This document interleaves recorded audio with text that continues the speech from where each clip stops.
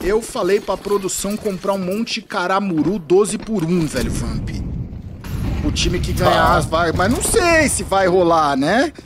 Mas não seria legal? Opa.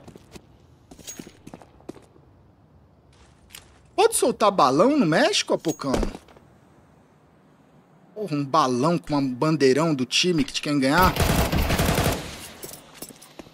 F Apocão, F Elpis. Não, não é F Apocão, é. é que é uma pergunta que eu, eu acho que não, velho, mas... Ué... Né? É, se as leis de cada estado dos Estados Unidos mudam, é, por que, sim, que as leis é, dos países não é? Se, se, puder lá, beleza, mas se não puder, não, não vão fazer, né, galera? Tá. Jacaré. Eu já vi balão no México. Aí, ó, estão falando que tem festival. Alguns mais malvados falando que a gente soltou o BT por lá também. 4x2. Se soltar balão fosse crime no México, eu já estaria respondendo por processo. Então é melhor, velho.